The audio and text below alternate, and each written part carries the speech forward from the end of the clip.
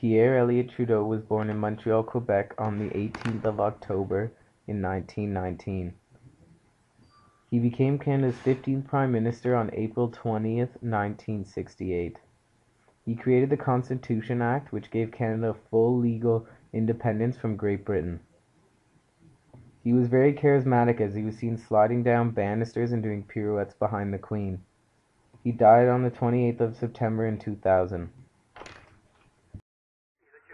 There's a lot of bleeding hearts around who just don't like to see people with helmets and guns. All I can say is uh, go on and bleed, but it's more important to keep law and order in this society than to uh, uh, be worried about uh, weak-kneed people who uh, don't like the looks of, uh, of a At, at any cost?